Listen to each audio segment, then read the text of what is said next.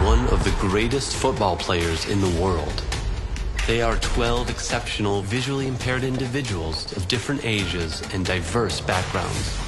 This year, they met. A magical moment that changed their lives forever and left Messi speechless as he presented them with the revolutionary Orcam MyEye. Leo Messi.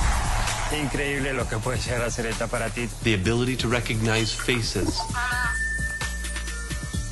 to read and understand any kind of text, so they simply ask to read only what interests them. Read the headline. Another brilliant performance. How? Identifying money notes. Ah. Orientation helps you understand what's in front of you. What's in front of me? A cup is in front of you.